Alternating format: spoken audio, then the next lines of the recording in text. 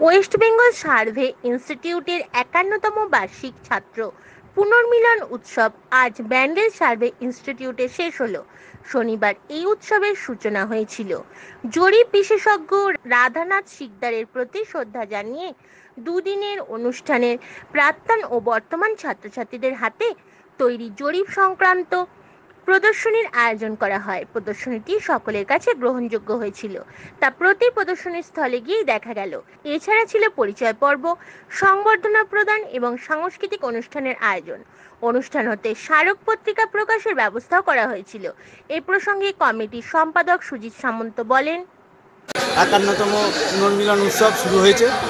আমরা রক্তদান, শিবির, বৃক্ষরোপণ এবং সায়েন্স এক্সিবিশনের মাধ্যমে আমাদের অনুষ্ঠানের সূচনা করেছি।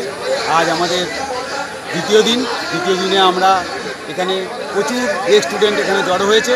আজকে আমরা পুনর্মিলন উৎসবের মহতী উদ্দেশ্যে আমরা এখানে জড়ো হয়েছি। এছাড়াও রক্তদান, বৃক্ষরোপণ এবং পরিচয় পর্বের মধ্য দিয়ে দুদিনের অনুষ্ঠান জমে ওঠে। শ্যামল সিনহা রিপোর্ট, হুগলি